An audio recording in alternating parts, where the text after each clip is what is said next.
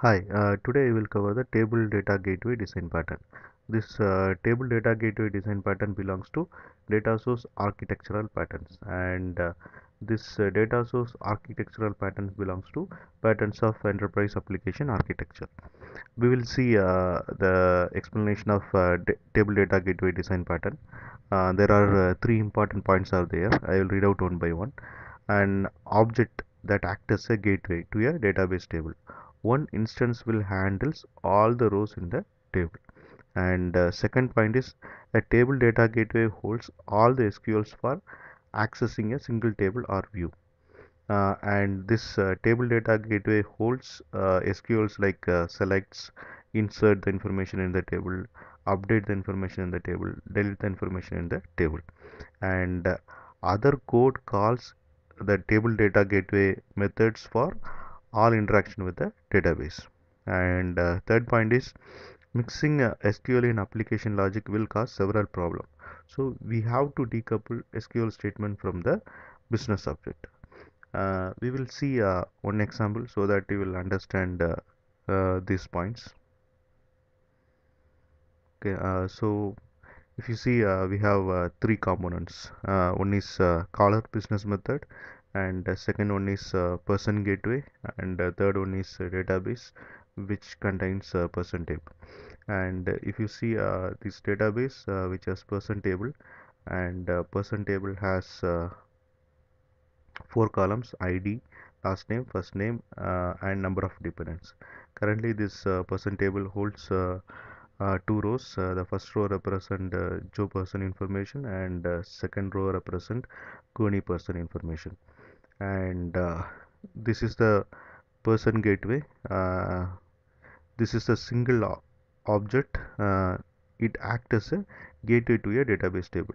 So this person gateway acts as a gateway to the the particular data database table. So in this case this person gateway acts as a gateway to the person table.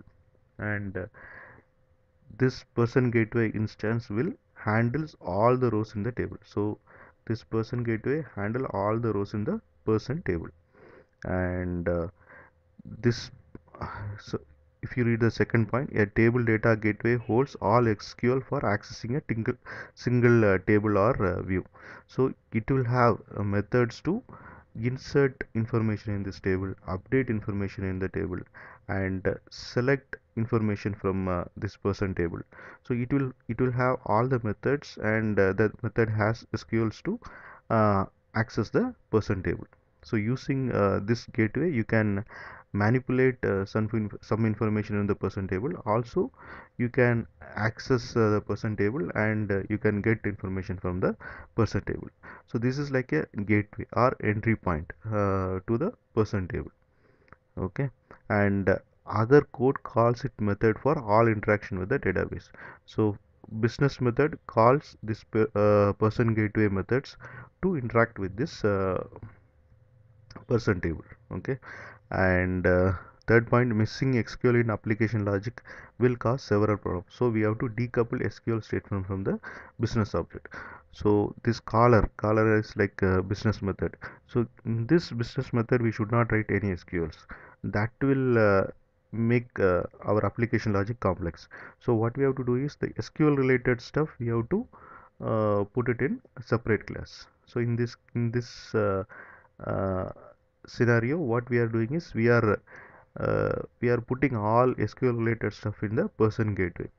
Uh, so this is like a entry point using this uh, you can access uh, person table information in the database. This is about table data gateway design pattern. Thanks for watching. Bye